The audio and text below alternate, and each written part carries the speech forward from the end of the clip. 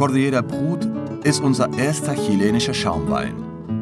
Von der Sorte Pinot Noir hat er seine Abstammung aus dem Curicó-Tal, eine Zone, die durch das Meer wie auch die anderen beeinflusst ist.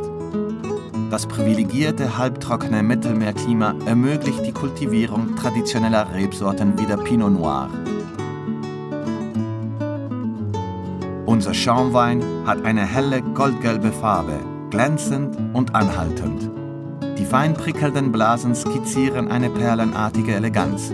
Blumig in der Nase, frisch und frühlingshaft. Im Gaumen seidig und ein stark verlängertem Ende im Mund, wobei die fruchtigen Noten des Pinot Noir zur Geltung kommen.